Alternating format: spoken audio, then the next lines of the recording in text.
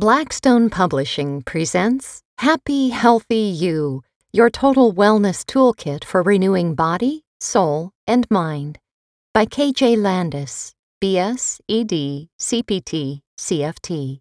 This book is read by Ann Richardson. Dedicated to the elders in my tribe Hilda and Myron, Leota and Gary, Joseph and Mavis, and of course, I would be nothing without my loves, Torino, Golden, and Sage. Foreword. My chance meeting with KJ Landis was unrelated to her passion for health and well being. Yet, without her saying a word about the subject, I immediately sensed a special aura and exuberance around her. I later realized I had simply picked up on her energy, which conveys the very principles for which she advocates. On the surface, one might surmise that KJ and I could not be farther apart on the healthcare spectrum. She espouses a natural approach to prevent imbalances and resolve ailments, both physical and mental. My career has been spent in the prescription pharmaceutical industry. Shouldn't we be diametrically opposed in support of our own interests and views toward quality of life and longevity? Nothing could be more incorrect, and the answer lies in the fact that I am truly thrilled KJ asked me to write the foreword for her new book. The prescription drug industry accounts for just 10% of our country's more than $1 trillion annual healthcare bill while also preventing much more expensive hospitalizations every day. I sincerely believe it is also a fact that following KJ's teachings can dramatically reduce the incidence of hospitalization as well as the excessive use of prescription drugs. This is good news for everyone and good for our economy in terms of individual productivity and taxpayer burden. KJ's expertise extends to two primary areas. In her first book, The Foods and Beverages We Choose to Consume, and in this, her newest publication, The Mental Perspective. Our minds play a critical role in every aspect of our overall health.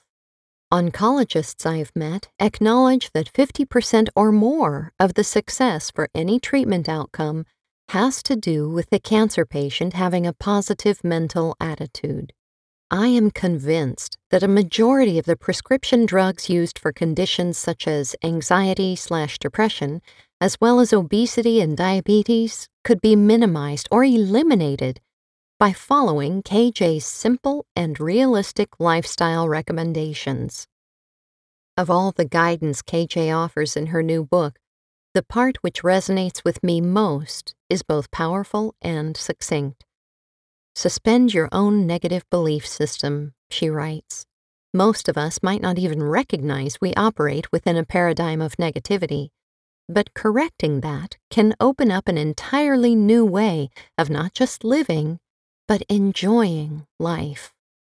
KJ's books detail pathways to helping create a happier, fitter nation while eliminating the need to always rely on prescription medicines as a first resort.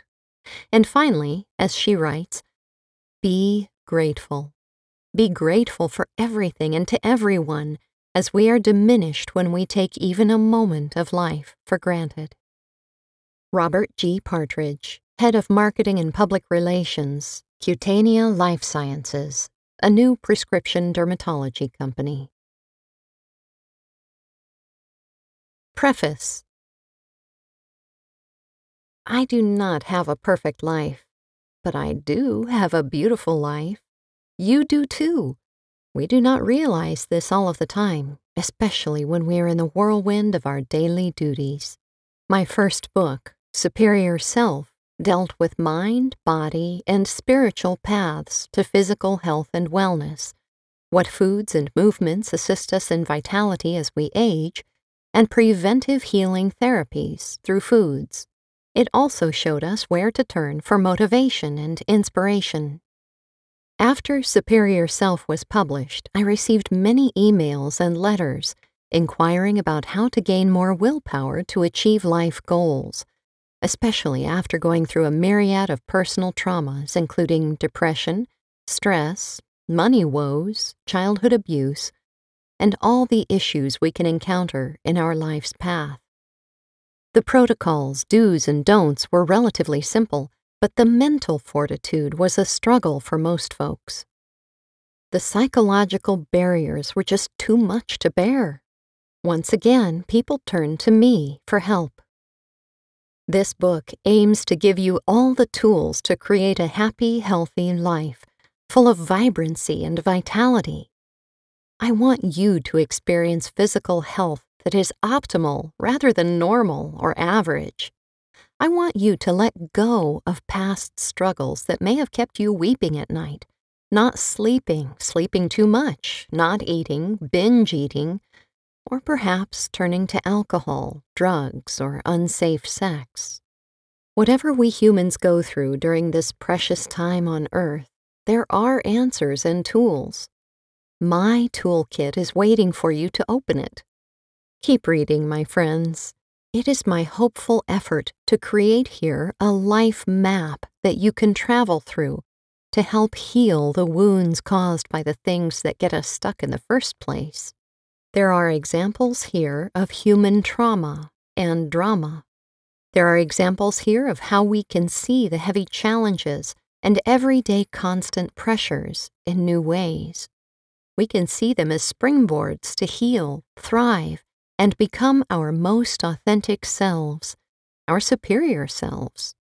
We will learn how these folks reacted to their lifestyle situations, how they finally shifted to a different method of recovery and rebounding. And from that learning, we will figure out a way to maneuver our own struggles and our own outcomes in positive ways. A mindfulness moment. One size fits one. This is not a one size fits all kind of book. This is a one size fits one kind of book. Everybody receives information in different ways. I'm fully aware that some of my readers will skip through the chapters to see which stories and exercises resonate with them. Feel free to meander through this work. Having options is nice. Having an option that fits in with your ideals is even better. Having too many options is sometimes detrimental and causes us to procrastinate. Think about the options we have every day that prevent us from healing from our deep rooted problems. I'll get to it after shopping, errands, cleaning, my TV show, cooking, eating. We hope you enjoyed this preview. To continue listening to this audiobook on Google Play Books, use the link in the video description.